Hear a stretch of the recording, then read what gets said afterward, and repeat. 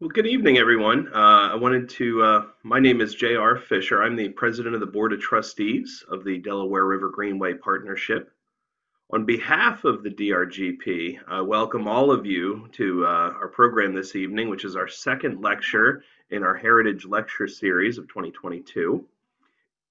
In addition to this evening's lecture, we are looking forward to scheduling one to two additional Delaware River Heritage Lecture Series events this coming fall. So I hope you can check out our schedule there.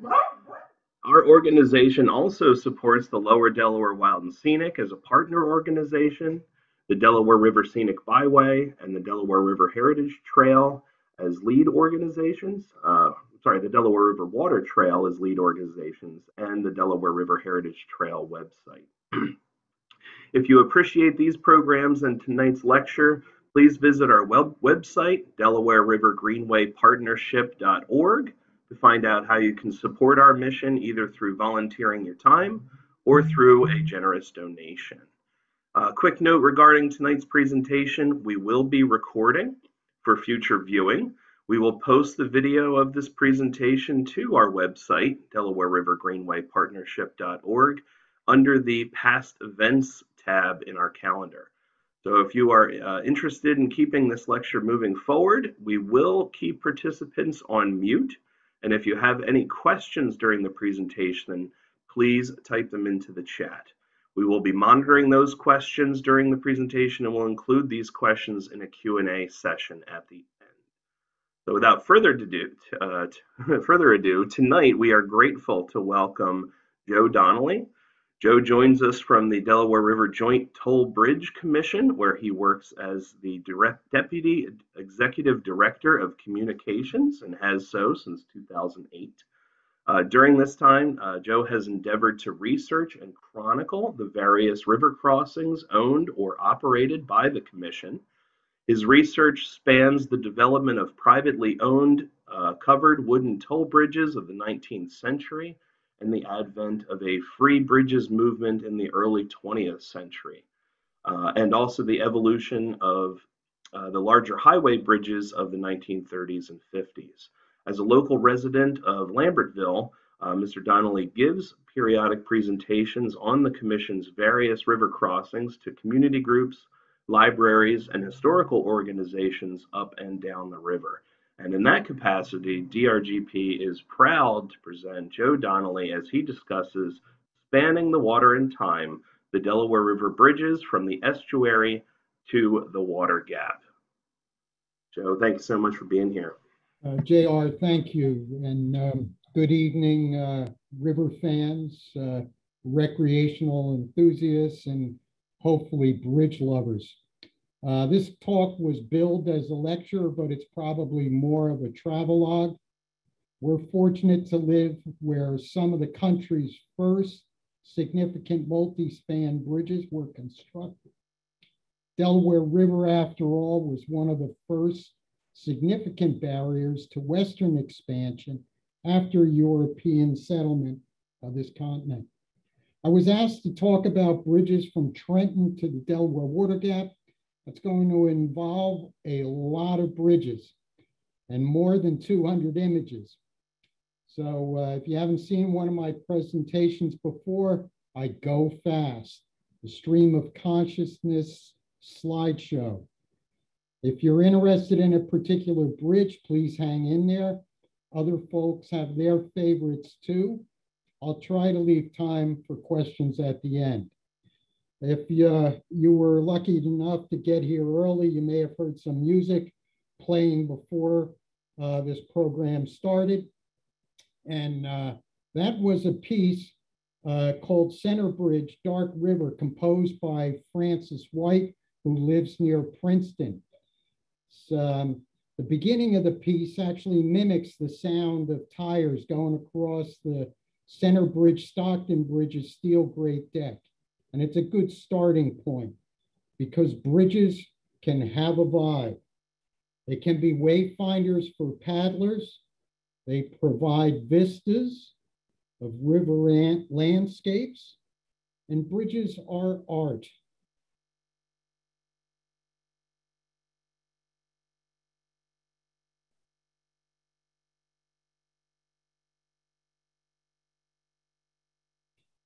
They've been in movies. They've uh, been uh, mentioned in books and business logos. Bridges are on t-shirts, on note cards, and even on masks. They can be home decorations and even personal adornment. Bridges, of course, can be festive and certainly communal. And even romantic. One bridge, at least once a year, can also give you religion. Bridges ultimately are connections. Their ultimate mission is to convey people, commerce, and commuters. And of course, bridges are structural and architectural.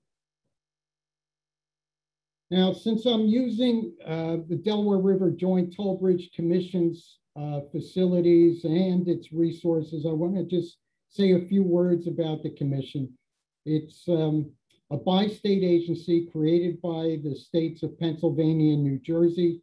We have a 140 mile jurisdiction. Uh, we date back to 1934. Our southernmost bridge currently is the Trenton Morrisville Bridge, that's Route 1. And then the northernmost is Milford Montague, uh, Route 206, which is about seven miles, I believe, south of the New York, New Jersey state line. Um, overall, we have 140 mile jurisdiction and uh, it really extends all the way south from the New York, New Jersey state line to the Bucks County, Philadelphia border.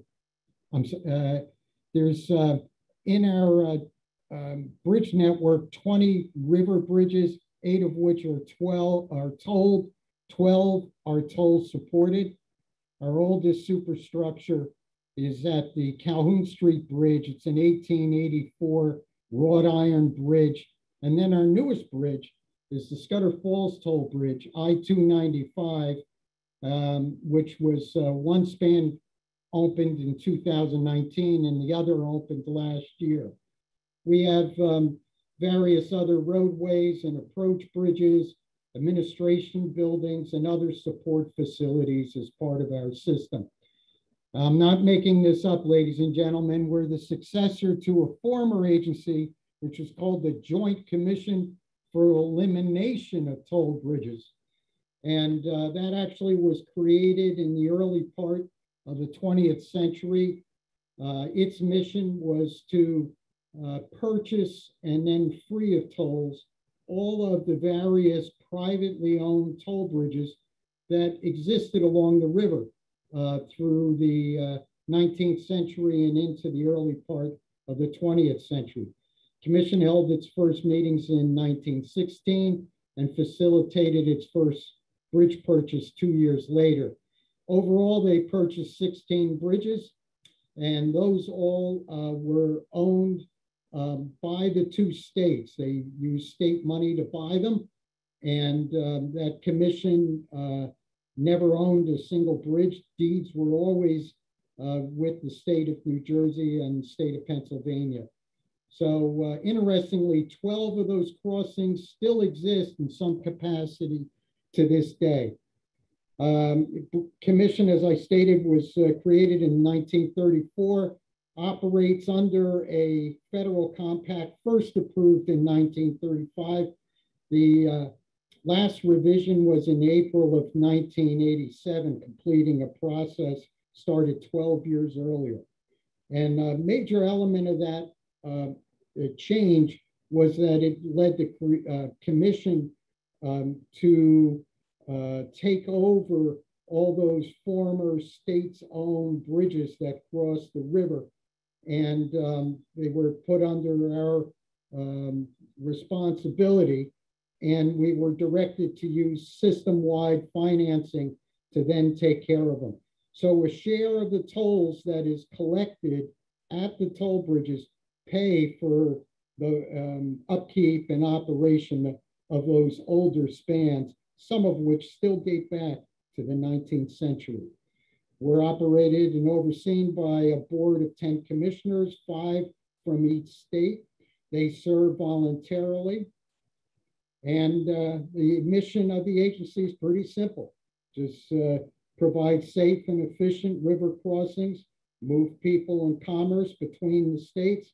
We had a 125 million crossings in 2021, which is up from the year before, which was the uh, steep uh, COVID uh, infection year, um, but we're still down from normal. Uh, going forward, I might use a couple bridge terms.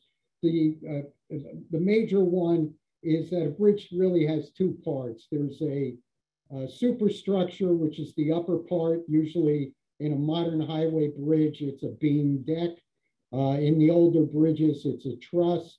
And then below it, it's supported uh, by masonry piers uh, and abutments. Every bridge uh, substructure has two abutments. So one at each end, usually on the land, and then um, there can be, depending on the length of the bridge, piers also to support it.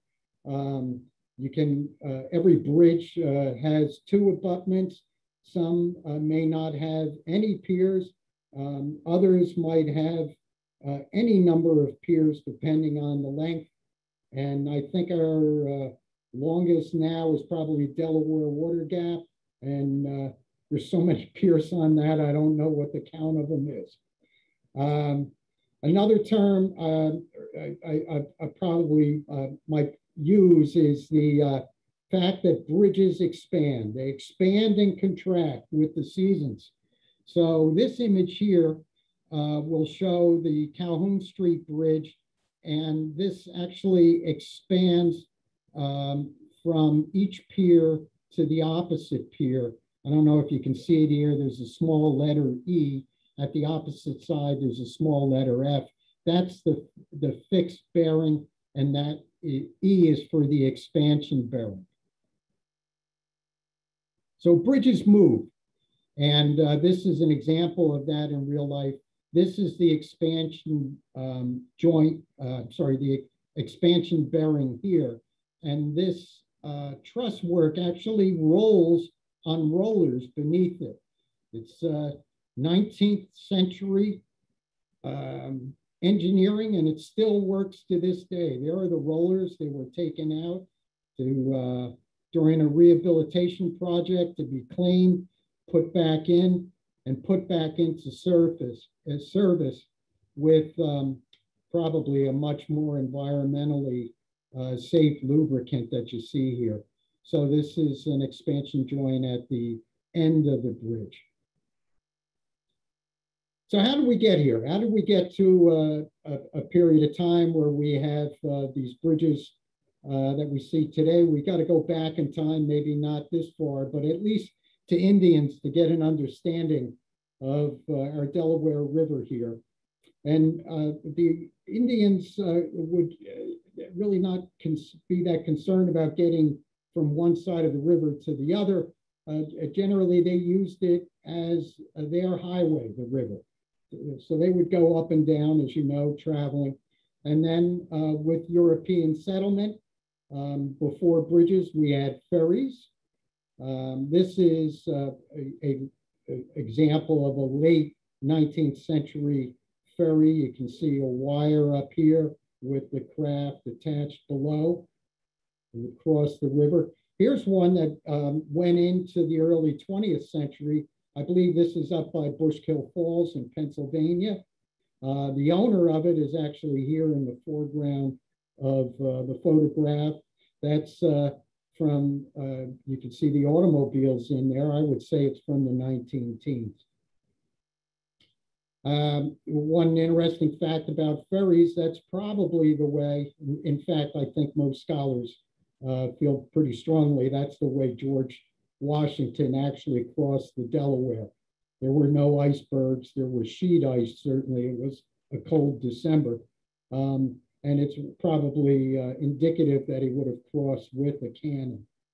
Um, there were uh, stagecoaches, early stagecoaches back then running between New York and Philadelphia, uh, and of course along the eastern seaboard. And uh, they would have traveled across the ferries, but the bridges would have provided a more certain way of getting across the river in terms of in times of inclement weather. And um, so that uh, also pushed for the development of bridges. Also, the bridges connected early um, uh, roadways uh, network uh, that, that existed in the colonies and uh, post-Revolutionary War era. We had the King's Highway that went through a portion of New Jersey. And uh, when you think highway, don't think today. This is probably what it looked like. That's an actual portion of the remaining Kings Highway in South Carolina. First bridge across Delaware was at Trenton in 1806. It was a marvel, only one of its kind ever built. Open sides, roofs that ran perpendicular to the actual cartways. And one interesting feature, I believe that this is not a flagpole. It was an early lightning rod. The bridge was constructed roughly 60 years after Ben Franklin uh, discovered that, uh, or really uh, determined that uh, lightning was indeed electricity. 16 covered bridges crossed the river, and uh, these were, um, uh, well, there were, I should put that as 16 covered crossings. There, some of these bridges had to, uh, were constructed and then had to be rebuilt for a number of reasons. Um, a second time, maybe even a third time, uh, due to uh, floods, due to um, poor construction the first time, and in uh, at least one or two cases due to fire. So uh, first one, 1806, also the bridge at Easton in 1806. And then you got to go all the way to after the Civil War, Portland, Columbia, 1869. And uh, that uh, ended up being the last covered bridge uh, along the river and the longest covered bridge in existence in the United States when it washed away in 1955. That bridge has a plaque um, that's um, dedicated to those 16 bridge crosses. It was uh, installed by a Boy Scout troop in 1959. So in the 19th century, bridge building took place by public, I'm sorry, by private companies. There were no highway or transportation departments at the state or federal levels. And uh, these uh, private bridge companies would form, get approval from the two states in the form of a charter. They were uh, would locate their bridges near or at former ferry sites. I mean, after all, there were existing roadways there. Um, many occasions, the ferry owner was uh, among those people inve uh, investing in the bridge. Uh, they would raise their capital largely by stock sales. Some ran lotteries, but you, you didn't raise that much money that way. And uh, they would build a bridge and then they charged the tolls, pay back the investors, and then to operate it and maintain it. And in cases where the bridge company was successful enough, uh, provide dividends back to the investors. Here's a uh, notice, uh, 1805 for uh, stock uh, sales uh, for the bridge at Trenton. Here's a stock for the Columbia, Delaware bridge. now, the, the, the bridges along the Delaware would always have that in the name. It Wasn't for the state, it was for the river. Some rivers, there's like a the Lumberville, Delaware Bridge Company. Well, there was also a Lumberville, Susquehanna Bridge Company. So um, that, that helped prevent confusion. Here's another certificate, Trent City Bridge Company. One bridge company, uh, the New Hope Delaware Bridge Company, actually printed money in the form of promissory notes and not uh, like some of the other bridge companies uh, for a short-term basis. It was because they operated an illegal bank. And um, that was its noteworthy uh, claim to fame back in the early part of the 19th century. States actually had to take um, that bridge company over because of the Wildcat Bank. Um, here's a toll schedule from uh, 1870s at the New Hope Delaware Bridge after it had been purchased by a single man after the states put it into receivership. That man is the only one who owned any of these bridges. He was from uh, Philadelphia. His name was actually Samuel Grant. This is his son here, William Grant, uh, posting this tolls notice uh, after his father had passed away. Some interesting things here. You can see they charge for cattle, they charge for swine, sheep. There's uh, language down here for uh, charging for lumber. Uh, we get into the early part of the 20th century. This is at Washington's Crossing. You still have tolls for livestock, uh, but now also for bicycles. The bicycle craze um, became very big in the United States in the late 19th century, early 20th century. And then, of course, uh, early automobiles, uh, which generally were owned by uh, rich people um, before mass production of automobiles. And their uh, resentment wasn't really about the cost of the toll, it was the fact that they had to stop to pay it. Uh, this is a little later. This was up at Milford Montague. And you can see the rates are going up now as the cars and vehicle. Now we have trucks uh, getting more costly. I love the language on this one, two cents for a footman. I don't know if that uh, meant that applied to women as well. Um, so um, this is an example of uh, a bridge company uh, announcing dividends to its shareholders. We had back in the day an uh, early form of E-ZPass in the form of tickets uh, that bridge companies would issue. This was for the bridge at Trenton, which at the time these were issued, the bridge was owned by the Pennsylvania Railroad. Um, this is uh, the Alexandria Delaware Bridge Company. This was a bridge at Frenchtown, uh, Center Bridge. Um, this is a, a, a, foot ticket for Lumberville uh, Delaware Bridge. And then at Yardleyville, they had the small tickets. Um, an interesting thing, this is a, a bridge house here. This is down at uh, Trenton Morrisville, the Morrisville side. You can see the gate here to close the bridge. Travel was largely, uh, really ostensibly only during daytime. There was no electricity. There was no uh, widespread gas lights to travel at night. Uh, rare were people who traveled.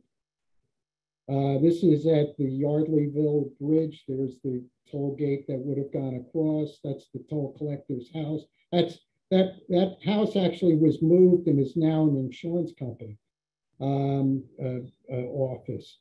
Um, this is a uh, you can this is a little upgrade of the toll gate. There's even a, a sign telling people to stop and pay tolls. Um, this uh, here is, this is already passe. I grew up with these barrier toll plazas in both directions. And uh, increasingly, with uh, each passing year, I think more and more young people are probably going to have their mouths opening, wondering what that was. Used to pay toll on the highway. And here's modern day. Of course, we still have a bit of a toll plaza here, one direction up at I 80 but now technology, you can pay electronically, you don't need to stop, much more efficient, less uh, pollution. And now full bore, we have all electronic tolling. This is at our new Scudder Falls Bridge, and this uh, collects tolls um, through E-ZPass, extensively, 90, 90% of the tolls there. And then the other 10% uh, are by uh, license plate billing. The uh, wooden bridges, uh, and even today's bridges, there's perils. Uh, fire for the wooden bridges. This is Center Bridge Stockton, burned down in 1923, struck by lightning. Uh, windstorms. were, uh, this is all the damage uh, to the roof as well as the sides. You can't see it here, but the Portland Columbia Bridge, 1929. Um, river traffic.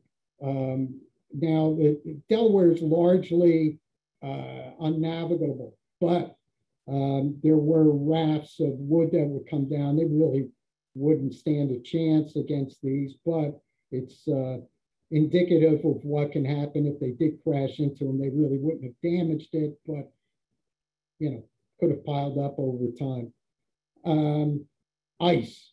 Uh, people ask me this question, well, isn't that ice going to hurt the bridge? Well, these piers have been standing here for over 200 years. So the answer is no.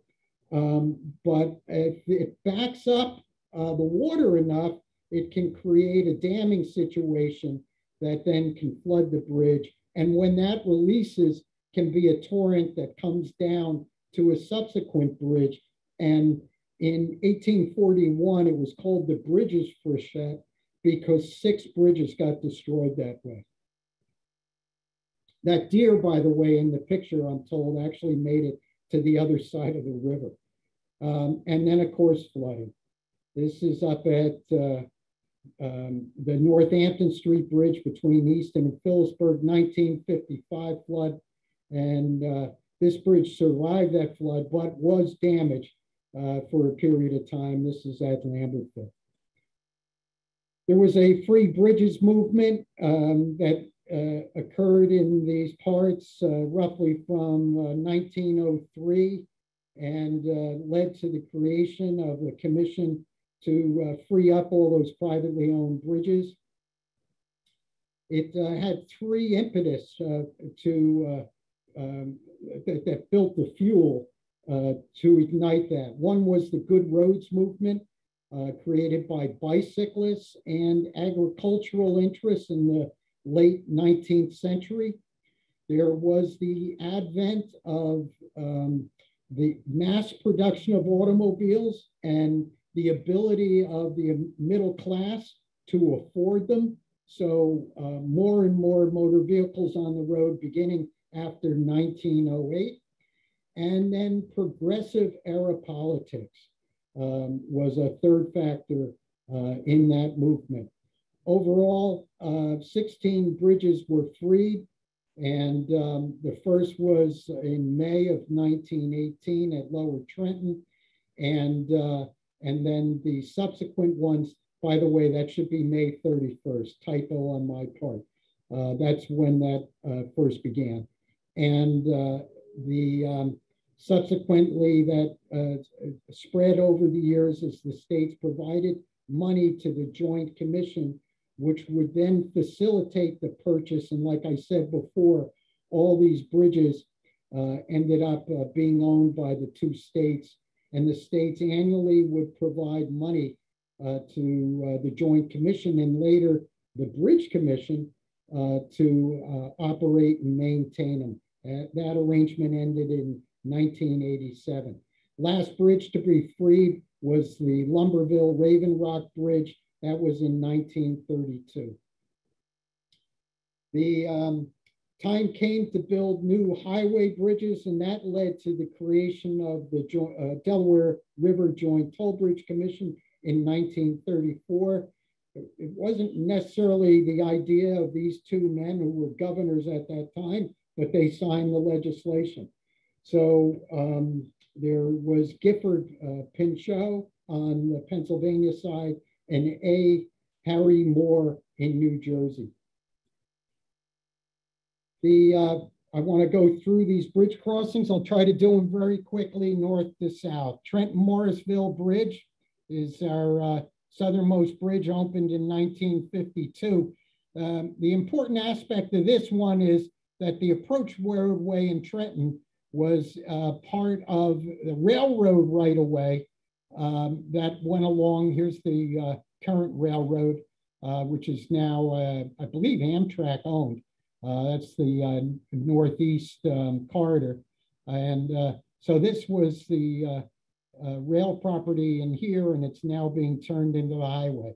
You'll see this later on at other locations. Here's the completed bridge opened in 1952. And this is what it looked like uh, at that time. And uh, a few years ago, about in 2009, uh, cantilevered off the side of it to widen it on both sides. So it's a wider bridge now. That um, bridge was constructed in a manner that allowed that, uh, this to take place. You can only cantilever so far, though, to add width. Uh, one reason the, the, bridge was needed, by the way, this is not uh, rush hour. This is uh, what the streets look like in Trenton trying to get to that. Um, the existing bridges, this would have been the old uh, Lower Trenton Bridge, first bridge that opened there as a wooden bridge back in 1806. And then this is Calhoun Street. Look at that traffic. This is an old water plant, by the way, if you're from the Trenton area. Um, so uh, that brings us up to the Lower Trenton Bridge. Uh, it's just a short distance north. Everyone knows it uh, colloquially as the Trenton Makes Bridge because of the sign that's on it. Um, this is what the original bridge looked like, 18, this is a drawing, 1807. And what's interesting about it is people from around the world came to see this. It was a just a, uh, structure that no one had seen before. Not only were these uh, beautiful portals at each end of the bridge, but then it had this open sides. The floor had it was suspended from these huge laminated arches and that was by chains of all things. And then uh, to promote the, the safety of the wood, that it could last long, you had the free airflow, but it had roofs on it. Some other images of that bridge. Here it is, the only photo I've seen of it uh, at this time. This is in the Trentoniana Room collection. There's the original piers, and you can see the uh, that's been re-roofed. That's probably reason a photograph was taken of it. Uh, the railroads uh, took ownership of the bridge company, bought um, controlling interest in shares so they could run railroad uh, traffic across that bridge uh, beginning in um, the late 1830s. And uh, interestingly enough, it um, was later widened. So they ran uh, the vehicular bridge on the upstream side um, with alternating traffic, one, one direction at a time with a system of bells. And then they widened the other span on the south side, as you can see here, and also raised it as uh, the uh, engines got larger. Here they are putting an iron bridge next to it. The Philadelphia, uh, by this time, it's owned by the Pennsylvania Railroad. They had bought the rights from the um, Old Camden and Amboy uh, Railroad. And uh, this actually, the railroad was the uh, Philadelphia Trenton Railroad, which essentially the Camden Amboy guys owned. Here's the uh, iron bridge that ended up replacing it. It was two spans. That's what, what the one railroad element. The uh, vehicular and passenger side was over here. This had two tracks. It was constructed by the Keystone um, Bridge Company, which was owned by um, Andrew Carnegie. Here's a, a, photograph. You can see the iron bridge here. When a steel bridge was added to it, they further widened the piers in 1892, and a second railroad truss, this one being steel, was added in in 1892. Here's how this looked from the air. You would have had uh, the um, uh, two iron bridges, and then the new steel bridge. So here's your vehicular, two uh, railroad tracks here, two railroad tracks there. Heavily used railroad bridge. Um, and this is the only image I know of that shows it when um, the middle span, the iron span, was taken out and replaced with another steel span in 1892. That didn't last uh, too long because um, in 1903, the Pennsylvania Railroad, uh, with uh, the work that they were going to do uh, with uh, Pennsylvania Station, um, uh, opening that in New York, um, put in a um, stone arch bridge just south of this crossing. Uh, this is the only photo I know of that shows uh, that bridge with the two steel uh, railroad spans. And here's that completed uh, bridge still in existence today and working very well. The uh, Stone Arch Bridge, Railroad Bridge at Trenton, now Amtrak and SEPTA go across it. Here's the original iron bridge still in existence. Um, uh, after the first Trenton makes uh, the world takes sign was put on it, uh, this is probably somewhere around 1920 or so. Um, and the uh, railroad bridges had been taken off this uh, many years earlier and actually uh, shipped down to the Potomac River for um, a Pennsylvania road, railroad bridge near Washington there. But you can see how the Here's the original piers. Here's uh, the first widening of the piers for the railroad, and here's the second one. So you can see how those were there. Um, that bridge was uh, free to tolls, first one across the river in 1918. Uh, by the way, that river crossing uh, was at that time still the most southern uh, bridge crossing along the river and would remain so um, all the way till 1926, till the Ben Franklin Bridge opened um, between Philadelphia and Camden. So that was uh, like, uh, uh like 112 years uh, where that, uh, sorry, um, 100 and um, um 16 years, I guess, for that bridge. here we are in 1928 uh, construction uh, to replace that old iron bridge. And it's the bridge that we know today, steel uh, span, being built in that footbridge, uh, a, foot uh, path of the old um, iron railroad bridges there. Here's a very interesting photo. If you know Trenton today, look at that area. It's all completely gone uh, due to urban renewal um, which is uh, a rather sinister term. Um, but you can see how the railroad would have come here. And this uh, portion's now uh, Route 1. These are the old toll houses here. Just, and here's what that looks like uh, um, sort of today. I, I say sort of because these two buildings here, which were built like 60s or 70s, are now uh, have been or are still uh, being um, taken down. Uh, we uh, put on a, a, new lighting system on the bridge that is now shining with the uh, uh, Ukrainian flag colors. We move up north, we come to the Calhoun Street Bridge, which is the oldest superstructure along the river, opened uh, in July of 1861. Here's what the original wooden bridge there looked like just uh, this was probably the longest uh, wooden bridge across the river, seven spans. Um, that's what the insides of it looked like.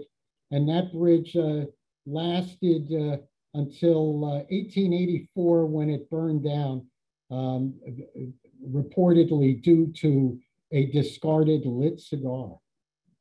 Um, in 60 days, 83 workers uh, reconstruct, er, constructed the wrought iron replacement bridge. It was sort of like uh, a tinker toy set to put together um, and done in very quick time. Uh, you know, labor was uh, rather cheap back in those days. Um, here's that bridge uh, after it sustained damage in the 1903 flood when the Yardley Wilburtha portion of that wooden bridge washed down and crashed into its walkway. The um, former um, private bridge owners would uh, try at uh, every uh, chance they had to make money uh, for themselves and their stockholders. In this case, uh, telegraph and early telephone wires uh, piled up on the bridge. There's also this sign here that I'm hitting. It's got an L, and that was for the Lincoln Highway. That was uh, the first um, bridge crossing of the Delaware River for the Lincoln Highway, which, uh, by the way, was not government run. It was uh, a, a, privately uh, a designation of uh, an amalgamation of roadways across the United States. Some magnificent bridge architecturally, um, beautiful Victorian details on it. Uh, we have put a Lincoln Highway sign on it a few years back. It now carries the East Coast Greenway between the two states. Uh, moving up river, a question I get is about this railroad bridge here, uh, which is the uh, Reading, uh, old uh, Reading Railroad Bridge, now run by SEPTA and CSX Freight. And then there's these piers that are alongside it. What the heck were they for? Well, there's what they were for. Um, and it was for the bridge that preceded the railroad bridge, which was called the Centennial Bridge, which was uh, um, the, the, the, nightmare for the uh, uh, Pennsylvania Railroad uh, Company because it was actual competition. Um, called the Centennial Bridge because 1876 and the Centennial celebration in Philadelphia. Uh, there was the Yardley Wilburtha Bridge, no longer in existence. Um, this uh, uh, bridge, the original wooden one, we don't know when it was constructed and opened, um, but we'll say, uh, for argument's sake, 1839. Uh, the bridge company was authorized in 1835. We know it went out for ads for a contractor in 1837, but we don't know when it opened. And um, so uh, this is uh, a, picture of the second bridge because that first one that they built in 1839 uh, or so uh, was uh, destroyed or partially destroyed in the flood in 1841. Here's another view of it with the Centennial Bridge behind it. It's 1890s. Uh, here's the steel replacement, uh, which opened uh, in early, early 1905. I believe this is probably after a flood in 1936 um, that had uh, uh, damaged the uh, piers again. And um, the, the, the reason, other reason why is because a walkway's been added to the bridge. And uh, I believe the uh, states paid the money to the Joint Commission to do that work after it was purchased in the early 1920s. That bridge lasted until the 1955 flood. Look at the damage here. Um, this is the Yardley Inn, folks, if you uh, have ever gone there. So, um, and uh, luckily they had moved the old bridge tender's house here. Um, they, for a period of time, uh, they, they put in a Bailey Bridge uh, to uh, still carry traffic over that bridge, but it had to be closed in 1861 before, um, about a month or so before uh, they were able to finally construct the bridge uh, upstream at Scudder Falls. This is a picture of the new bridge at Scudder Falls. One interesting factor on this is a walkway that this bridge has. It's the only walkway that we have with um, railings and parapets high enough and a width wide enough uh, to allow bicyclists and uh, pedestrians uh, to cross the bridge, with the bicyclists not having to dismount um, uh, their bikes and walk across it. So you can ride across that bridge. Great views up there. It's it's hot. Um, this is the original Scudder Falls Bridge. It was uh, built 25% uh, uh, shares of money by the two states, and then 50% money uh, from old U.S. highway funds. It was not uh, constructed under the Interstate um, Highway System uh, Act. And uh, this bridge was built in 1955 um, under contracts that were actually overseen by the NJDOT the bridge got completed, but they didn't have the roadways uh, to put to it. So the um, bridge was uh, completed in October 59, but then didn't open until June of 1961. Um, here's the bridge really on its last legs before we started the Calhoun Street project. One interesting thing is the states uh, removed an island here um, to provide the fill uh, to uh, build the uh, approaches to the bridge um, back in uh, the 1960s. It also, look at this, how that opened up the riverway uh, to prevent flooding. And that was the other overriding reason for doing that. That island, by the way, was called White's Island. Here's the new bridge. We'll move up to Washington Crossing. This is our most narrow bridge. First one opened in 1835, a wooden bridge. This was uh, the second bridge at that location since the first one there washed away in 1841. You can see the old Bel-Del railroad tracks running along on this side of uh, the canal there. This is in the uh, 1880s, we estimate, and look at the uh, canal. Um, this is where the uh, um, towpath really was, was on this side. When people refer to the towpath nowadays, it's really the old uh, railroad right away that they're walking or riding on. This is 1902 flood photo. Uh, it washed away in the 1903 flood, was replaced uh, in 1904 and opened in 1905 with the truss bridge. Um, it's our most narrow bridge. Uh, still, uh, the narrowness is a reflection of the agricultural times that still existed uh, back then.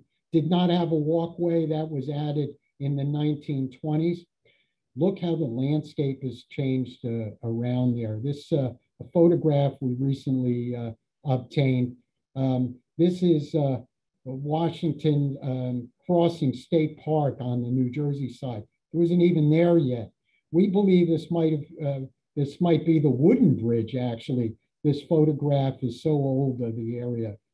Um, here's another one. This photo's uh, from the 1930s, I believe. And you can see now the uh, state park on the Jersey side is coming in there.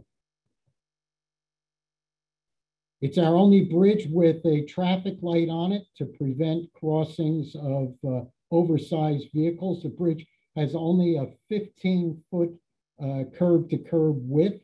So you really have to squeeze in there. We're unfortunately with this bridge prisoners of our past with that one.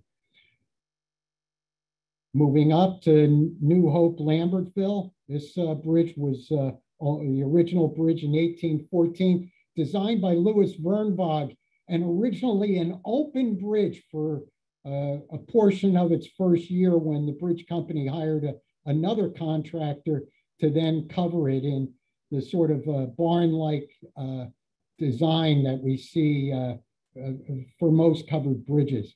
Um, but that's uh, essentially what the innards of that looked like. That was a, a patent application for Louis Wernwag, the designer. An artist out in Quakertown, Pennsylvania, Dennis Gerhardt, I should have put his name here, um, made a drawing of it as best as he could from the records because there's nothing that shows the full bridge. Um, but this is what those um, uh, portals looked at looked like at both ends of the bridge. So you had dual cartways in each uh, one in each direction, and then dual walkways on that bridge. Here's um, a photograph of the bridge, but after the 1841 flood.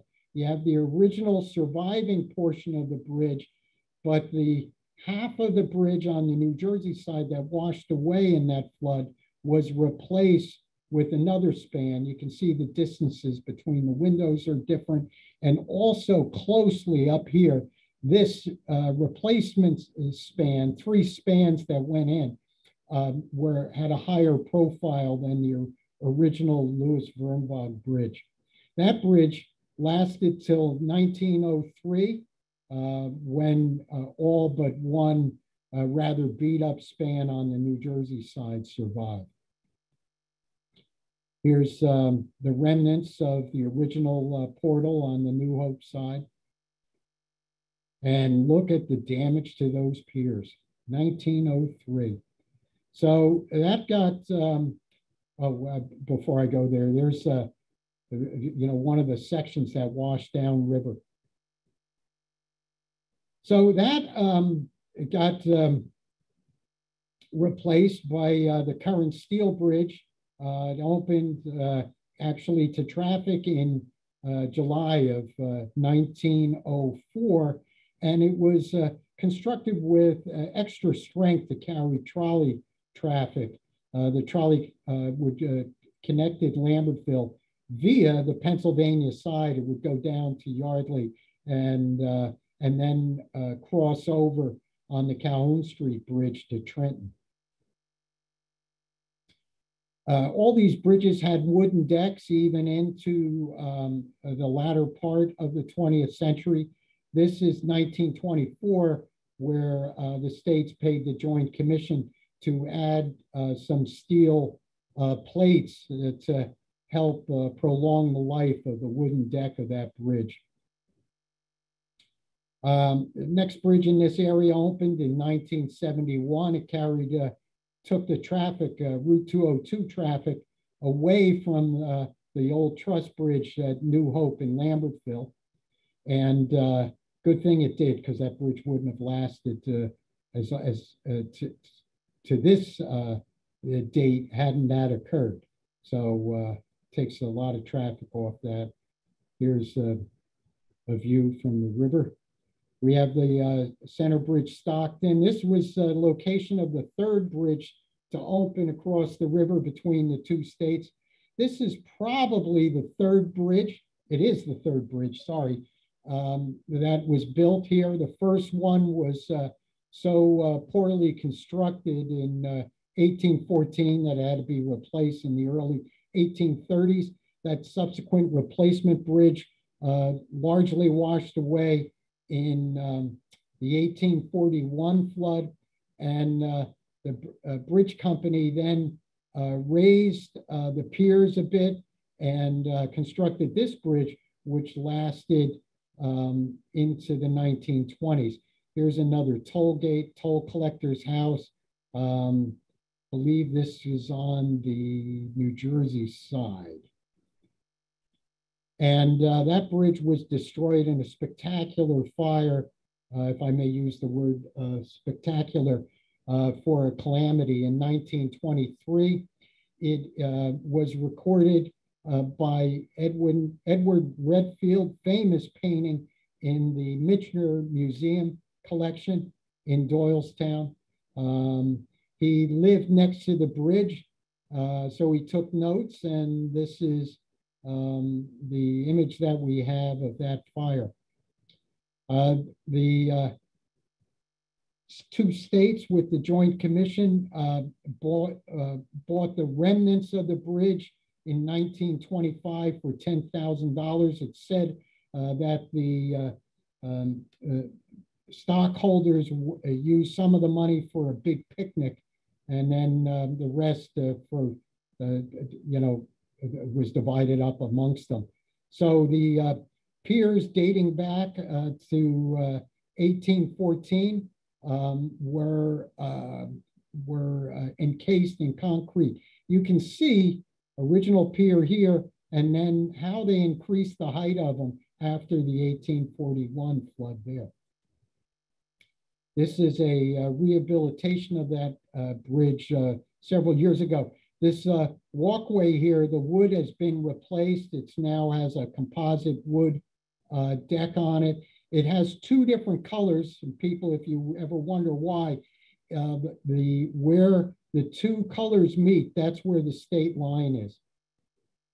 It's uh, uh, like many of these bridges down in this area, it has um, nests uh, for um, um, I'm going to say starlings, but it's not starlings. Swallows, thank you. Um, swallow nests. And one interesting factoid about this, this was the bridge that a guy who wanted to be the first in the country to cross the United States by a lawnmower uh, crossed the Delaware River here uh, about 10 years ago. There's the photo of him doing it. Uh, the Lumberville Raven Rock, that's a pedestrian bridge. Uh, this is probably the second most photographed and painted uh, bridge along the river, uh, the first one being the bridge at New Hope, Lambertville. Um, this uh, bridge was let me just go back a second. It opened in 1855, but it took a long time for it to be constructed. And um, this is a, a picture of that wooden bridge. Um, it, it was it didn't really have a flood threat um, because it, it was built after the 1841 flood. That's a, a, uh, lumber raft in the foreground. That's uh, from the Pennsylvania side, by the way. Um, in the 1903 flood, one span uh, was washed away, and that was replaced with a steel truss. In uh, that bridge uh, continued in service into the 1940s. This is an interesting photo. That's a pontoon bridge because the US Army used the parkland on the other side for a camp. And what they tested here were various pontoon bridges. We're in the middle of World War II. And so they tested out various types of, of bridges uh, to get a, across um, um, uh, rivers and streams, either in Europe or um, over in, um, in the Pacific Islands. In uh, 1947, uh, that uh, wooden bridge was replaced under a contract with the Roebling uh, Company was made into a pedestrian uh, suspension bridge. Um, and that was a sweetheart contract for the two states uh, and the um, Bridge Commission on that one. The contract was for $75,000 to construct that and uh, remove the old uh, wooden bridge and truss bridge there that preceded it. Um, this is uh, indicative of the process that was used uh, over the past 20 years where the commission um, took off uh, old lead paint off these bridges. So you put in containment and vacuum systems uh, to get all that lead paint off and then repaint it uh, with uh, sa safer coating systems. So that's how that looked. Um, this bridge no longer exists. exists uh, Point Pleasant Byram Bridge, uh, first bridge opened uh, just shortly after the Lumberville Bridge, probably accounts for, uh, again, while neither of them were all that profitable. Um, and um, that had a, a, rather checkered history. So uh, here's its uh, demise eventually in the, the 1950s. Um, that one wooden uh, version of that bridge actually burned down in, um, I think it was 1892. And then a subsequent version, uh, a, a, a, steel bridge, which a remnant of that um, was used. Uh, they had a, that, that original bridge, which would have looked like that all the way across 1892. All that got washed away in uh, 1903 and then subsequently replaced um, with um, a, uh, a, a, steel bridge, and then that washed away in 55. So here we are with the remnants of that, and that's what those uh, remaining piers look like today. Uh, that was never owned by the uh, Bridge Commission. We get that inquiry every once in a while, but uh, the deeds to that were never transferred uh, because there was no bridge there, certainly in 1987. Uh, Uhlerstown, Frenchtown, this was, um, again, a bridge where we don't know when it opened, but managed to be opened after the 1844 flood. Uh, this is a rendering of it, what it looked like uh, by an artist. Uh, this is up in the collection at Lafayette College. Um, that wooden bridge uh, was uh, partially damaged in the 1903 flood, two spans closest to the Jersey side. And um, there's the uh, steel replacements. You can still see a toll gate on this bridge. This is probably shortly after its 1903 opening. Watercraft here and uh, below the bridge. Um, that was replaced uh, completely.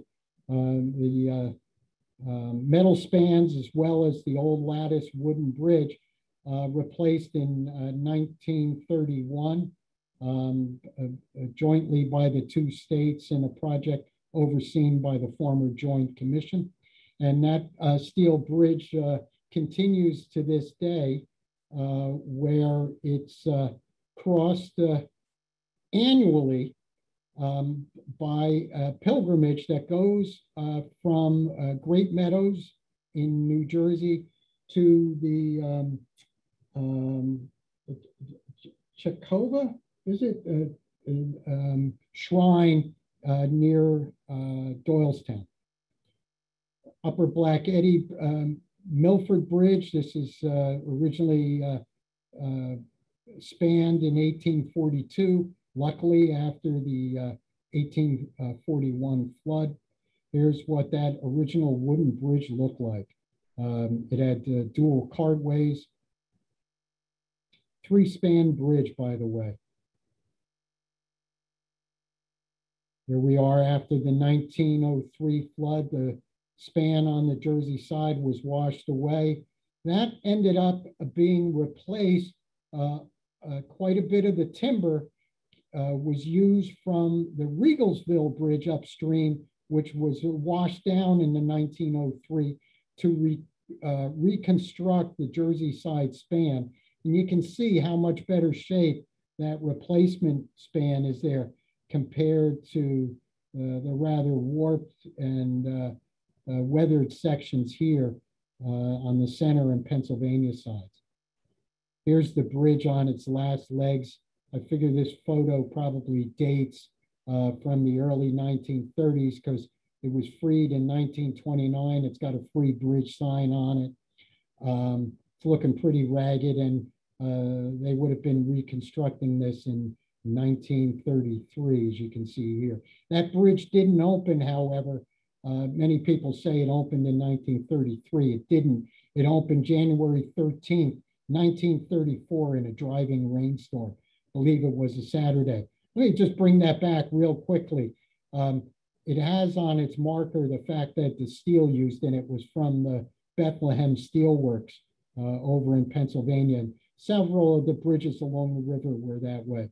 Here's a photograph of the bridge. Um, I believe this one is from the 1950s. you can see uh, still uh, a lot of agriculture. Here it is with the railroad in front of it. Go up to uh, Riegelsville um, Bridge, the first one opened there in 1837 um, and uh, severely damaged in the 1841 floods, in fact, washed away. Uh, that replacement, uh, which you see here, lasted again till the 1903 flood. Uh, two spans washed away. Short time later, uh, that surviving span on the, I believe it was the Jersey side, uh, sorry, uh, looking at that Pennsylvania side was uh, just collapsed.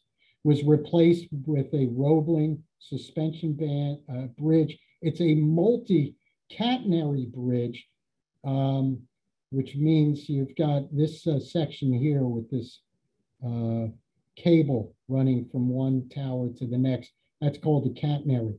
And it has three of those. So it's a rare multi-catenary vehicular bridge.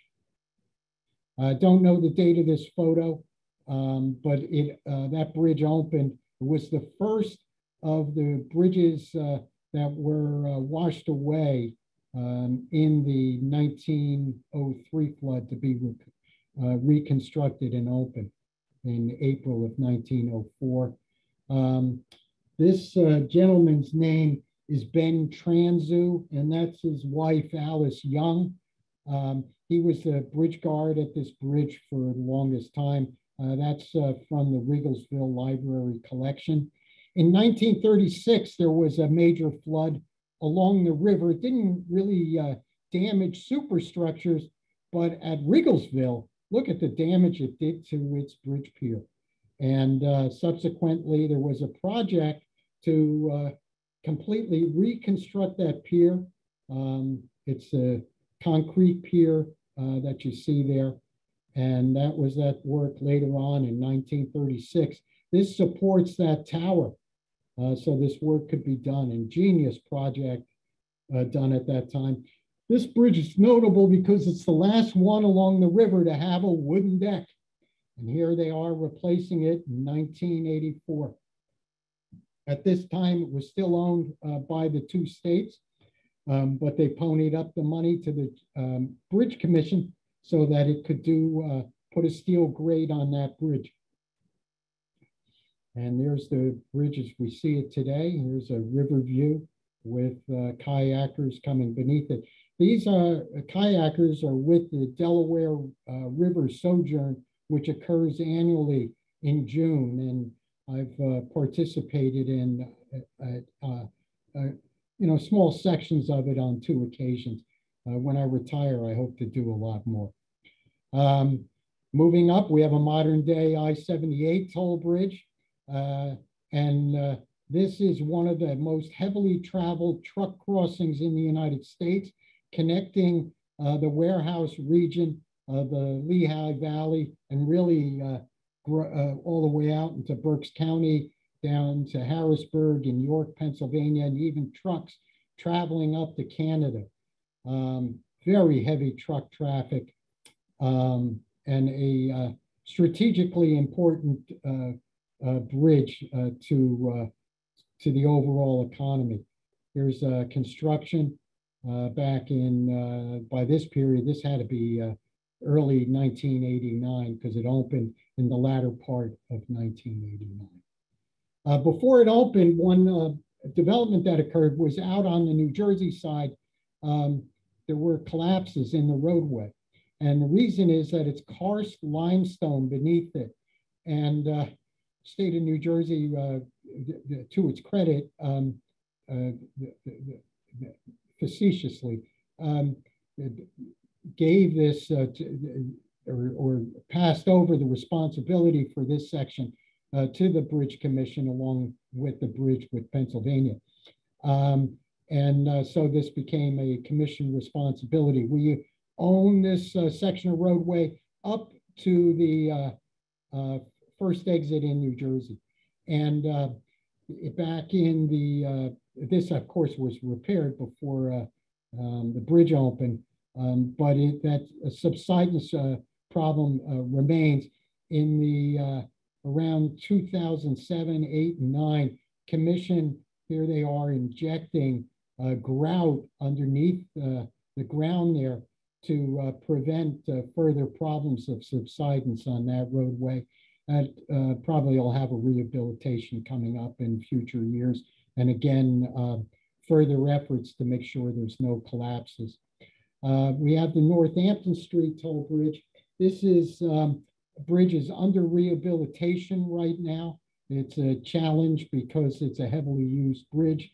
Um, the uh, original bridge here opened in 1806, uh, was a wooden bridge. It was designed um, um, by a uh, bridge designer out of uh, Massachusetts, um, whose first name I can't remember now, but uh, last name was Palmer. Um, it might have been Theodore Palmer. Um, uh, Timothy Palmer, thank you. Timothy Palmer. And um, that's what the original wooden bridge uh, looked like. A really interesting structure. Here's uh, the portal on the eastern side. Um, and uh, here it is uh, really in its latter years. An interesting uh, factor about that bridge was when they um, constructed the steel replacement bridge, which is still standing today. Um, the contract uh, specified that the um, traffic had to continue moving across the old wooden bridge. So they took off the top of it uh, this is that wooden bridge deck um, still in play there. And they essentially built the steel bridge allowing uh, around it so the uh, wooden uh, deck could remain in surface. Here's the old piers here, the new piers being constructed for the steel replacement bridge. They put on very wide walkways onto that. Um, and that would allow for passage of um, horse-drawn vehicles. You can see how narrow they were, and they could squeeze by enough in the same for the trolleys that went across. So they were able to um, construct this bridge uh, allowing for uh, originally uh, slow moving traffic uh, on the sides of it. This is, uh, by the way, my theory because we, there's no documents, but it's the only thing that makes sense. Um, and then did the um, rest of the bridge, uh, center, center portions with traffic moving on both sides later on. So this uh, is a picture of that bridge after its uh, completion in 19, I'm sorry, in 1896. Um, like its uh, other bridges up and down the rivers had its uh, flooding challenges and its big, biggest was in 1955 when the center span was washed away. Here's uh, uh, that bridge. You can see the damage that was done to it in the background. A temporary Bailey Bridge can be seen here uh, between this bridge, which is colloquially referred to as the Free Bridge, and then the uh, uh, toll bridge up here is the uh, toll structure to differentiate between the two. Just a beautiful bridge, um, one of only two like it in the world.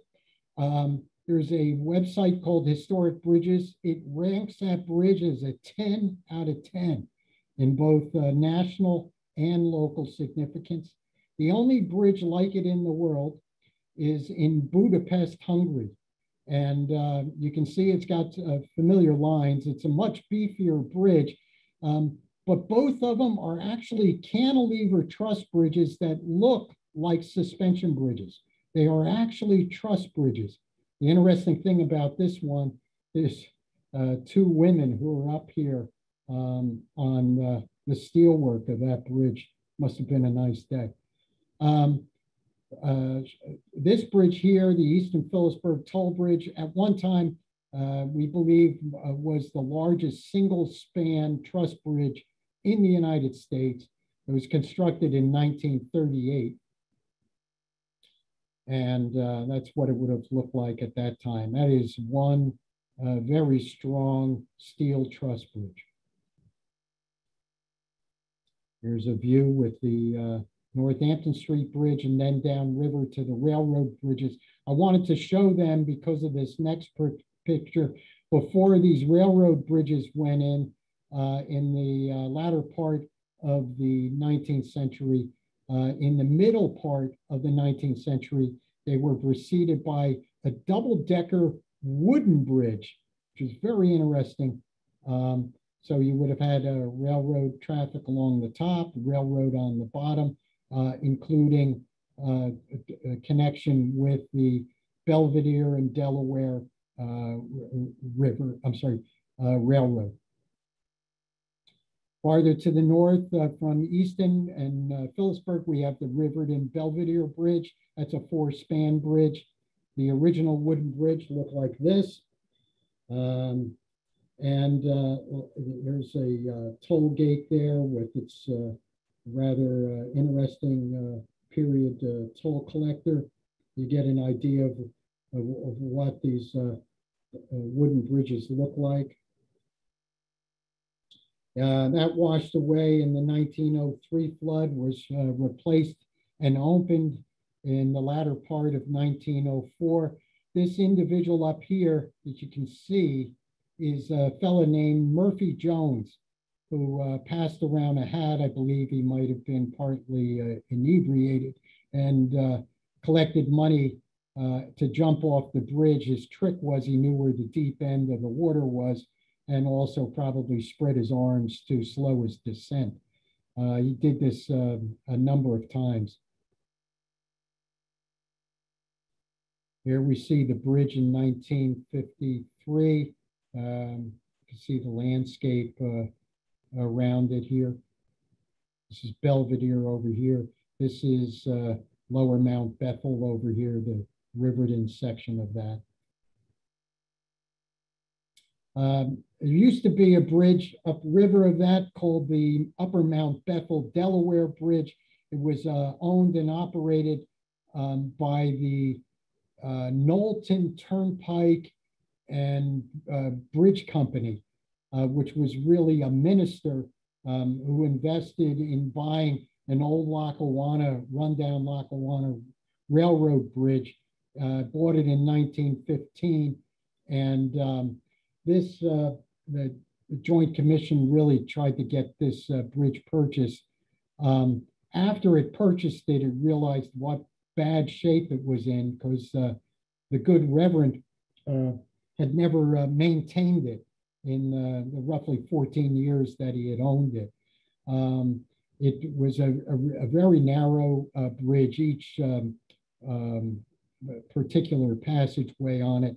This is an interesting postcard of the bridge. You can see a toll collector's house here, another toll collection booth on this side.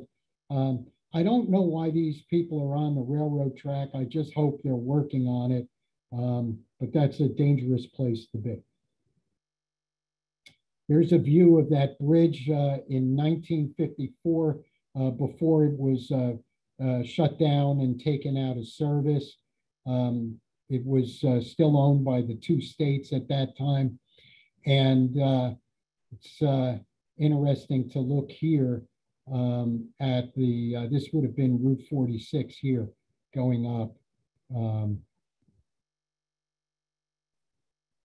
And here's the bridge. I don't know the full story on uh, the, that collapse section there, that was uh, um, done by the contractor uh, to remove the bridge or some other reason, but it's no longer there.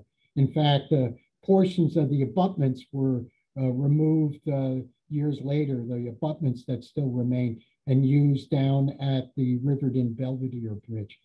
moving up, the Portland Columbia Bridge uh, was opened uh, by the Bridge Commission in 1953. One of three bridges uh, up in the upper Delaware section of the jurisdiction that were opened in 1953. Here's um, early construction of piers on the Pennsylvania side. I think these were piers four and five. And um, these are land-based piers. And you can still see a house standing over here that was eventually removed over on the Columbia side of the bridge. Uh, this bridge, like Delaware Water Gap, has um, very interesting cylindrical uh, shaped uh, piers. Uh, they're the only two bridges that we have in the system like that. This is the uh, um, pedestrian bridge north of that. Um, and this diver here is actually doing bridge inspections for us. Um, one thing we check the bridges for is for scour, which is a primary uh, a cause of bridge collapses around the country. Um, this is the pedestrian bridge upstream, uh, a more historically significant bridge uh, crossing. Um, and uh, this is a uh, postcard image of that, uh, of that four-span bridge. Uh, that bridge uh, was originally a bridge there was conceived in 1816, but it took until 1869 and actually two separate private bridge companies to finally uh, construct it. The first one just never uh, got off the really off the ground. Um, and in 1839, the effort was rekindled, and the uh, probably leading force of that was this man here, his name was John Insley Blair, namesake of Blairstown, New Jersey. Um, he was a railroad magnate, but unlike most of the robber barons of the 19th century, um, was uh, philanthropic uh, at a very early age and um, uh, lived very humbly in a, in a uh, wood frame house in Blairstown till he died in 1899. Interestingly, uh, his um, a bust of him is in the Metropolitan Museum in New York.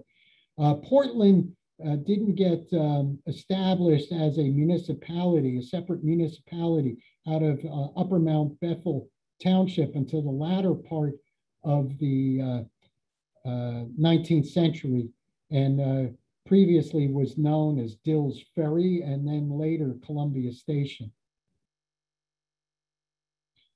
So um, the wooden bridge gets constructed. Here's a, image of that while it was still there, a beautiful aerial image. Um, and what I want to show here on this are these railroad tracks where I'm moving the cursor here. uh, that go upriver and all the way up here into the Delaware Water Gap, New York Susquehanna and Western Railroad. Um, the uh, bridge like uh, we had down at Calhoun Street where they had telegraph and tele telephone wires, this bridge company um, would uh, use its uh, sides for ads, originally Sozodont uh, a, a, a, toothpaste uh, in the early part of the 20th century, and then later Coca-Cola advertising. An interesting fellow who uh, spanned the time of uh, ownership of this bridge when it was privately owned and then owned by uh, the two states and operated by the old Joint Commission, and then later on um, owned by the two states and operated by the Bridge Commission was this fellow Charles Newbaker. Um, he was uh, a local legend, and you can see uh, by the way he is dressed so nattily, um, very proud of his job and position. It's of all the uh, photographs that I've found in our archives, the only individual picture that's an 8 by 10 so the photographer must have really been smitten by this man. It's uh, said by legend that um, when it rains hard up there, that uh, his vestige appears with the lantern. He also was uh, known uh, to have stopped uh, Eleanor uh, Roosevelt for crossing the bridge and speeding. Um, way back when she would drive the country around the country, she was adamant about driving herself. So that's another story. This is the closing of that bridge in 1953. Uh, I want you to look closely here um, at that portion of the bridge. That is an Appalachian Trail marker. So um, this bridge was closed in 1953. This is the original bridge crossing point for the Appalachian Trail, which now crosses the Delaware Water Gap Toll Bridge. And uh, the uh, bridge guides, uh, I'm told, uh, from back in those days, uh, when you got, if you were coming from the south and got to Delaware Water Gap, um, you could, you had the choice of fording across the river, which I think a few adventurous people did at uh, times of low water, or you walk down, um, it was probably an, an additional eight miles uh, to reconnect the trail, but go across uh, the bridge uh, at uh, Portland, Columbia, and then uh, back up uh, to the trail as we know it today.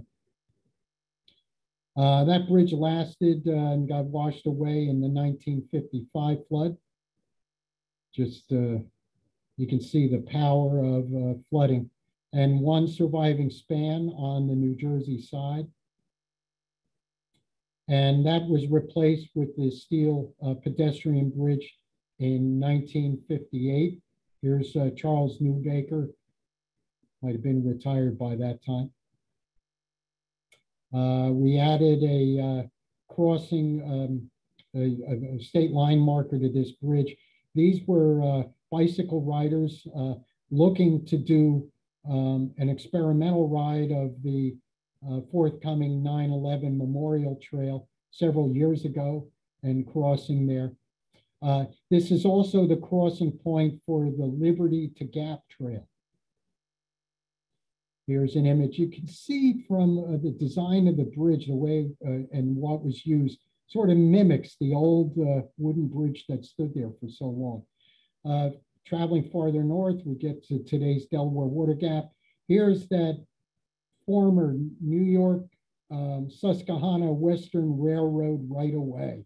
Another railroad right away that's being used for a highway, much like as what occurred down at uh, Route 1 in Trent. That's a postcard, by the way.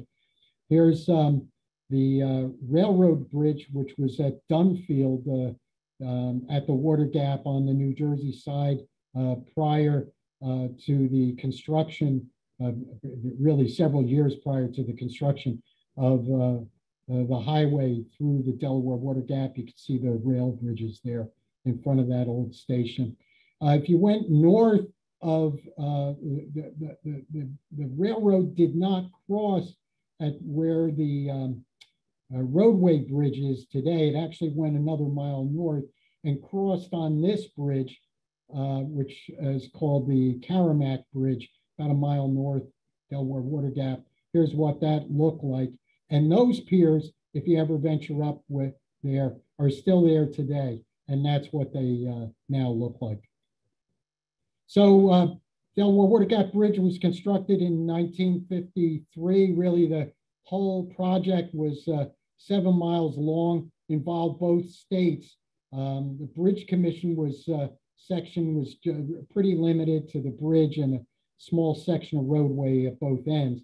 Um, but then there was the highway bridge uh, that was constructed uh, by the highway departments in both states uh, leading to and from the bridge. Uh, and that project began in 1951. Um, hardest part of constructing a bridge is always uh, the um, uh, substructure works. So we're getting into the stage now, uh, latter stages of this in early 1953 here. Um, here we are uh, just a couple months later, late April. And then here's in June, you can see the steel work going in. And uh, after that, uh, it gets pretty easy. Here's uh, an early rendering of what that bridge was to look like. Uh, pretty close to um, exactly how it was uh, planned. The bridge originally carried not I-80, but US 611, um, which uh, that modern highway that we now call I-80 was originally US 611. Um, this is the old barrier toll plaza there. I don't know why this was closed for this photograph, um, but you can see the oil slicks there. So this was after clearly uh, when the bridge opened. And there's what that uh, toll plaza looks like, excuse me, um, what that toll plaza whoa, looks like today. Um, one interesting thing recently was uh, we had a, uh, a truck overturned on its way to the bridge and livestock got out, had to be uh, um, all uh, maintenance worker along with other ones trying to retrieve uh, these running sheep. Um, the bridge carries Delaware Water Gap. Here's the marker to it, including uh, mileage to Mount Springer Terminus in Georgia and Mount Katahdin in Maine. Here's a couple uh, through hikers. Roughly 700 uh, individuals hike uh, the trail end to end, meaning they go across this bridge at some point each year. Uh, roughly 3,000 um, um, individuals attempt to do the hike uh, in a single year, but only 700 actually accomplish it. And that's the uh, end of my presentation. We can open it up to questions. And uh, I thank you.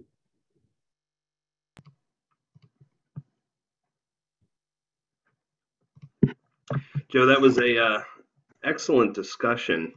Oh. We appreciate that. Um, I, we did have some questions uh, that uh, that came through in the chat.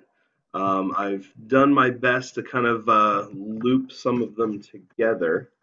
Okay. Um, so one of the one of the the first ones that I thought was pretty interesting was um, how uh, the question is how was the Trenton Makes slogan chosen? Um, the, the, slogan dates from the Trenton Chamber of Commerce. They ran a contest, uh, 1909, and um, a, a, man um, named Roy Heath won it and uh, came up with the slogan, which was uh, "The world takes, Trenton makes," and that never appeared on the bridge in the mid 19 um, teens. The uh, Trenton's mayor uh, Frederick Donnelly, no relation, um, uh, put together an effort to raise money to then finally put the slogan on the bridge, and he reworked uh, the wording to Trenton makes the world takes. Was put on by the R.C. Maxwell um, uh, company, uh, billboard company in 1917. has uh, been replaced many times. The original uh, sign was illuminated. It had uh, 2,400 incandescent light bulbs, and unfortunately, I could bore you to tears, but that's the thrust of it. Uh, Bridge Commission has owned the sign and uh, the uh, slogan uh, since, um, I shouldn't say we own the slogan, we we protected in the public domain um, since uh, the, the uh, 1990s. Great. Um, the other another question that came through was, um, and I know you mentioned uh, the uh, the Roebling span. Um, how many Roebling spans are there across the uh, across the Delaware River? Well, um, on in our section of the river, there are two, one at Lumberville, one at Riegelsville. There is another one um, up in New York that's probably more famous than our two, uh, which is the Lackawaxen Bridge, which was originally constructed as um, an aqueduct, a, a, canal bridge that carried the canal, the um, I think uh, Hudson Delaware Canal um, ac across the river, uh, but has since been converted to a roadway bridge. I've uh, been across that bridge myself. It's uh, it's pretty impressive to cross since you you're kind of down in what would be the canal trough. So it's a really fascinating span. Hmm. Um, so then there was a question about maybe a Roebling span that went from the PA Canal to Hendricks Island, uh, north of New Hope. Uh, ah, there, there was a, um, a, somebody owned, whoever owned the island put a bridge in there that was uh, not a, um, a bridge that went across the river. It was a short span. I don't know the years of that, but uh, there, there was at one time a bridge, and I don't know if it was a, a Roebling constructed bridge. Makes sense though. I mean, um, Roeblings uh, were nearby. Whether I always thought it was a chain bridge, not a suspension bridge, but I, I just don't know enough about it. Fascinating. Um, and then, um, did the uh, the private bridge owners fight against the free bridge movement at all? Uh, not the Pennsylvania Railroad. Uh, they were the first to sell and were happy to do it. Uh, they, they had no interest in dealing with uh, um, automobiles and you know people who you know would protest over paying the pedestrian toll to cross that bridge.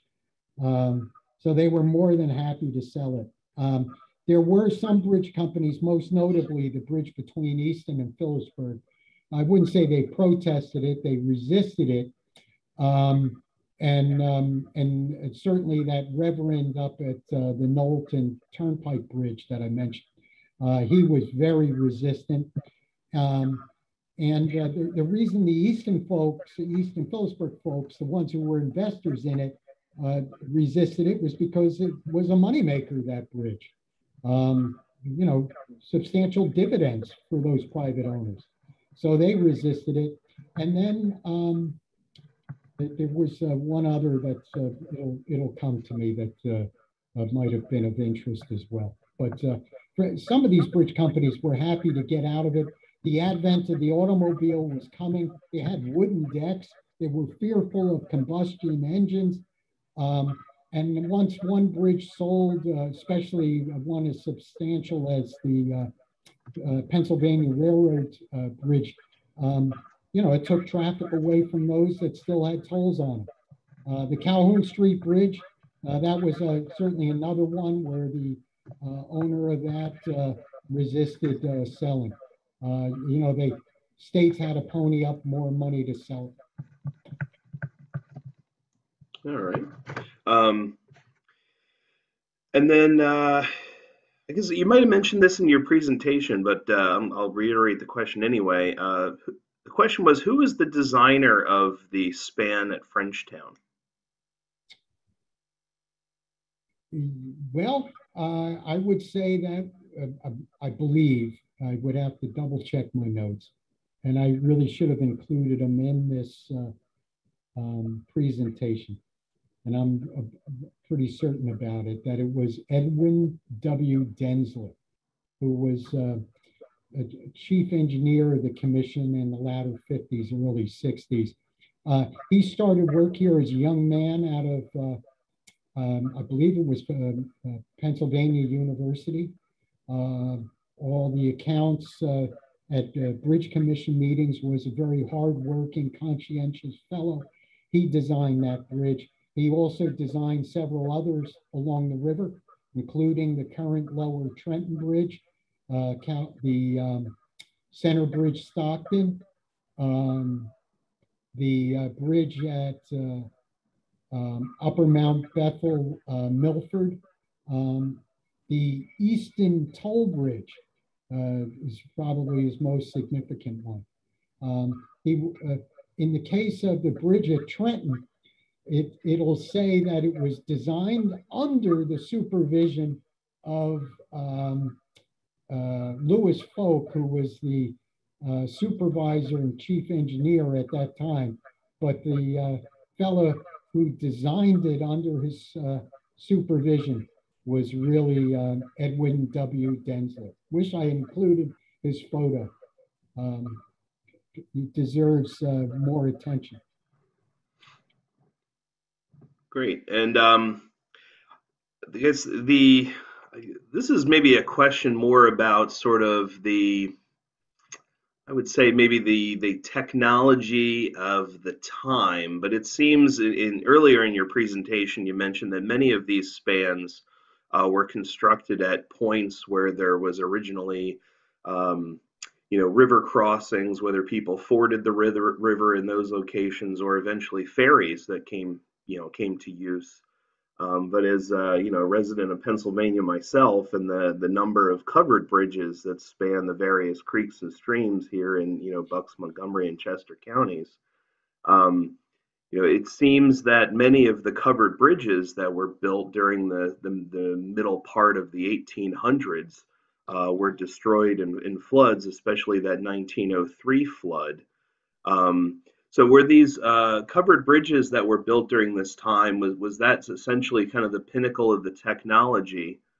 And then follow-up question to that is when they were replaced by the steel spans um, in the late 1800s and early 1900s, um, were those spans designed uh, for uh, floods or even future floods? You know, is there any concern about, uh, you know, floods damaging the current bridge spans? Well, I, you know, unfortunately, I, I don't, um, I, I, I can't speak to what private bridge companies did. Um, and, uh, you know, some of those bridge company records, I mean, they just don't exist. Uh, very few records exist uh, from the actual bridge companies. Um, but there are cases where those um, uh, those uh, piers and abutments have been erased over the years. Um, and uh, so, um, you know, in, in, terms of the steel bridges, uh, you know, when they're, we've raised uh, piers and abutments from what I understand. Um, I wasn't alive at the time. We're talking on some of the, you know, like Upper Black Eddy, Milford, uh, Uhlerstown, Frenchtown, they, they probably raised them a bit in that process. That's why there's those steep inclines going up to them. So, um, but I, I, don't have a definitive answer to that. So, um, fair enough. And then um, there's just uh, I think one one or two last questions, real quick, in the interest of time. I think then we'll close things out. But um, you mentioned that the uh, span at Trenton was the southernmost bridge uh, for quite some time until the the Benjamin Franklin Bridge uh, was built. Um, what was the uh, I guess what was the what was the reason that the uh, that that was the southernmost bridge for quite some time? I mean, I know that the uh, the river gets quite wide uh, the further you get down into the estuary, but were there were there other uh, economic impacts or kind of what was the was the driver of of, of that era? Yeah, I'm not. I'm. I guess I've seen a few clips on that, but when you think of, think about it, where would be the first place you would build such a bridge? It would be between the two most heavily populated areas, and that was Philadelphia and Camden. At the time it was built in uh, 1926, by the way, um, it was the southernmost bridge. Uh, I don't know why I spaced out on that, but it was 120 years. It's a long time. Um, so the uh, bridge at Trenton, 120 years. But the one uh, between uh, Princeton, I'm sorry, uh, um, between Philadelphia and Camden, 1926 is when it opened. It was at that time the longest bridge in the world. So, you know, here's your answer. Right, right. So probably uh, technological advances and uh, you know interest in the automobile and, and desire to Oh, make the- that span. Oh, right? the demand, yeah, the ferry uh, operation probably wasn't as, well, certainly wasn't as, as efficient. Um, And then, you know, there were advances in steel, there continues to be. Um, You know, steel uh, that, that, that, that you would get for a bridge today, um, if we were to do a repair at the uh, New Hope Lambertville Bridge, is going to be vastly better than what was used to construct it in, in 1904. So, um. Great. And then the last question is, there's been quite a bit, a bit of interest uh, from the participants in, um, you know, learning more about the various bridges. Um, we will have a copy of this pr- uh, presentation this evening posted to our website, Delaware River Greenway Partnership.org. But the question is, does the commission itself maintain either a museum or uh, or a place to learn about this, the various bridges uh, that you've presented this evening? No, I'm uh, sort of the relic that does this. Um, and I, I don't know if my successful successor will endeavor to do it as well. Um, I guess it's just a point of background where there's no museum. Um, my interest in it is, uh, is accuracy. I'm a former newspaper reporter and it, it drives me nuts when I read materials that's wrong. And, uh, and then it gets repeated. So um, a lot of the literature that's out there just has stuff that gets repeated that's wrong.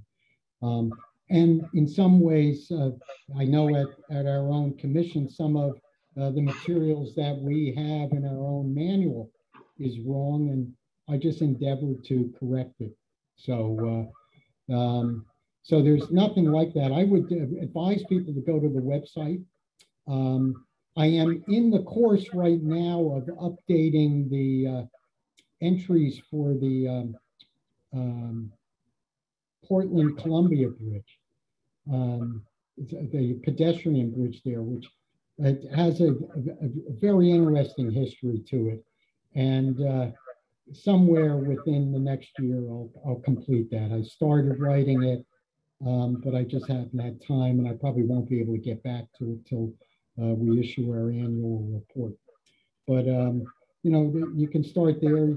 There's uh, some um, 2014 um, annual report will have um, a story on the uh, 200th anniversary of the uh, uh, New Hope Lambertville Bridge, so there's information there. Um, On the bridge, uh, free bridge movement, that would be uh, in the uh, 2016 annual report. So occasionally there's expansive uh, articles in, uh, in those annual reports if I have the time to do them. So um, check back and there might be some other stuff on the, uh, on the website when time allows. My uh, primary mission is to um, get word out to the public on stuff at the here and now. Um, and I have a little window of time right now. We do have a project underway at Northampton Street uh, Bridge, but it's, I'm no longer uh, inundated like with the Scudder Falls project. So um, hopefully I'll have a chance to do so- a little bit more of the bridge history stuff. Um, If I might use the time, there's a fellow over in Pennsylvania who's written a book. If people are interested in covered bridges, um, his last name I think is Conboy, uh, and uh, that book is coming out shortly. Uh, he's out of Percy, and it's on the uh, covered bridges of uh, Bucks County, and includes uh, some of the river bridges um, in our jurisdiction. And uh, my dealings with him is that he's um, very interested in accuracy as well. So be on the lookout for that. Great. Joe, we wanted to thank you so much for uh, for this evening's presentation. It was incredibly informative, and uh, I guess one one last question I thought was interesting. I'll throw in there is, uh, do you have a favorite bridge, and if so, which one is it? Um, favorite bridge would be uh, Northampton Street Bridge between Easton and Phillipsburg, just because of its uniqueness. Yeah, Neat. yeah. That's It's excellent. a pity people don't know more about it and how, you know, it, it's the only one of two like it in the entire world. While we're on that, by the way, I just want to give kudos to somebody. Um, I don't know who the executive was at the commission who made the decision, but many years back, the um, uh, state, uh, the, the, the bridge is adorned with the state seals of uh, New Jersey and Pennsylvania on its respective ends. And those were removed from the bridge. And there was a woman um, out of uh, Phillipsburg, uh, uh, Gloria Decker, who endeavored to uh, get those put back on the bridge um, back uh, in the early uh, 2000s. So uh, it's an interesting thing that was done by that individual. So Very fascinating. Well, with uh, with that, we will uh, we will close it up. And uh, again, Joe, this has been an incredibly fantastic presentation. We really appreciate your time. thank you, Thank you so much for for joining us, and to all the participants that are still on. Uh, thanks for hanging with us. It's, it's again, it's been a lot of information this evening, and I, I found it incredibly valuable. So thank you, all of you, for joining us. JR, just one other thing, if I may. Good. I have my Good. phone number on, on here. My phone malfunctioned tonight. It was so bad I had to unplug it. So I don't know when that's going to be operating, but that is my number. So, uh, so I was, I had no other choice. I just had to unplug it out of the wall. It was Yeah, that, that happens sometimes. well, great. Well, uh, again, thank you so much. We uh, we really appreciate it, and uh, we we look forward to having this presentation up to up on our website uh, shortly in our uh, previous events tab. So, Joe, thank you again. Thanks so much. You bet. Bye-bye. Good night.